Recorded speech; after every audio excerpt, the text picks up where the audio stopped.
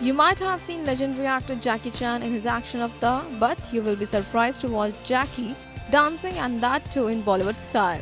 Yes, the action actor will be seen dancing on a Desi track for the first time in his upcoming film Kung Fu Yoga, which also stars Bollywood actress Sonu Sood.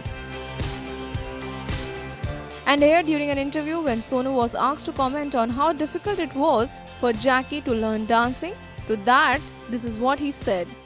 I think Jackie Chan खुद बड़े कमाल के dancer हैं लेकिन पहली दफ़ा उन्होंने किया। आई थिंक वहाँ पे चाइनीज़ फ़िल्म में आज तक एक्शन ही करते आए हैं। फ़ारा खान ने uh, करवाया था उनसे खूब डांस uh, करवाया। खूब प्रैक्टिस बहुत करते थे आके।